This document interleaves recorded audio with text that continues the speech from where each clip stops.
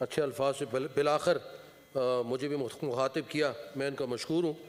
बहरहाल ये जो है ज़रूर है इनकी जो गुफ्तु है वो बिल्कुल अ, सही है और इन अभी कोई मीटिंग आ रही है तो मैंने एजेंडा में नहीं रखा था। अब फ़र्स्ट तारीख को मीटिंग है तो उस पर एजेंडा में भी हम दोबारा रख लेते हैं ताकि ये मामला ठीक हो जाए। मैंने खुद वहाँ पे जी मेरा दिल दहल गया कि मैं एक दिन वॉक कर रहा था वहाँ पगडंडी पे तो एक बिल्कुल जवान बच्ची हमारी बेटियों जैसी वो एक सौ फुट के दरख्त पे चढ़ी हुई थी और कभी लेफ़्ट हैंड से और कभी राइट हैंड से वो दरख्त की शाखें काट रही थी। तो आदमी का दिल दहल गया कि वो बगैर किसी प्रोटेक्शन के वहाँ पे जाके दरख्त काट रही थी और नेचुरली अपनी जान को हथेली पे रख के वो गई थी।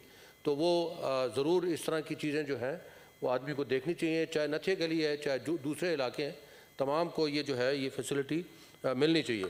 सर, मैं यहाँ एक थोड़ी सी अगर एक बात करना चाह रहा हूँ। जी। कि सर, हमारा ये यकीन है, ईमान है कि ये दुनिया जो है फ़ानी है और लौट के हमें अल्लाह ताला के पास ही जाना है। और तभी हम समझते हैं कि यहाँ पे जो भी हमारी कोशिशें हैं, एक दिन जो है मैशर में क़्यामत के रोज़ हमें जो है वो उसका जवाब देना पड़ेगा।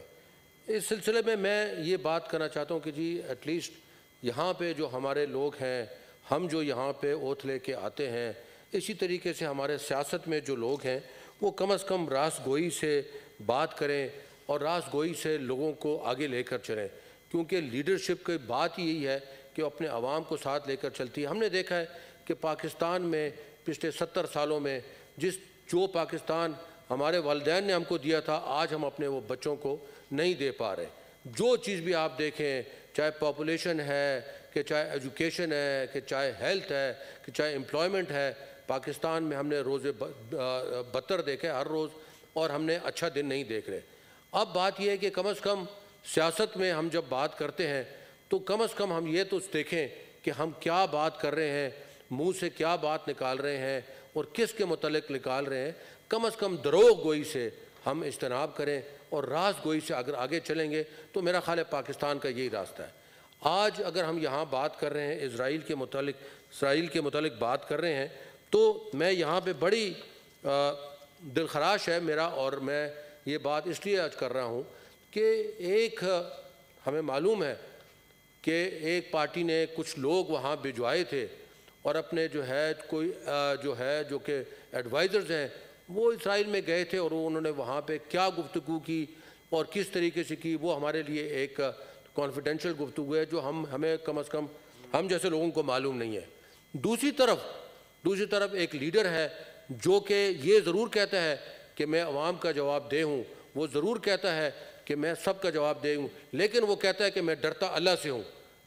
और ये कहने के साथ वो ये कहता है कि मैं अल्लाह को क्या जवाब दूँगा? अगर ये जो है मैंने इसराइल को आज के लिए, आज मैं उसको जो है एक्सेप्ट करता हूँ। मैं जो है अपने जो है जो कायद अज़म का फरमान है, मैं उसके अगेंस्ट जाऊँगा। और उसके बाद हम इस तरह की एक रैली निकालते हैं। जी प्लीज़ जी। इस तरह की एक रैली निकालते हैं जिसको हम कहते हैं कि जी नहीं मानते इसराइल को नहीं मानते। तो ये गुमराही की तरफ़ हम लोगों को लेके जा रहे हैं। हमारे जो स्टूडेंट्स हैं, या हमारे जो लोग हैं, या हमारे जो फॉलोअर्स हैं, उनको हम एक गुमराही की तरफ़ लेके जा रहे हैं। और रास गोई नहीं, द्रोह गोई से हम आगे लेके जा रहे हैं। जो कि मैं समझता हूँ कि हमारे जैसे लोगों के लिए मुनासिब नहीं है, चाहे वो लीडर हैं या क्या है। अब बात यह कि ज़मीर जो है आदमी का कम अज़ कम उसको जवाब देना चाहिए। और अगर ज़मीर भर भी गया तो कम अज़ कम उसको टटोलना चाहिए कि ये जो गुफ्तु है ये गुफ्तु ना हो कि हम जो है पाकिस्तानियों को गलत रास्ते पर ना लेके जाएँ। बहुत हो गया, बहुत हमने मारें खा ली, बहुत हम पीछे रह गए। कम अज़ कम अब जो है इस कार्ड को हम इस्तेमाल ना करें, क्योंकि ये कार्ड गलत कार्ड है। शुक्रिया रुबीना खालिद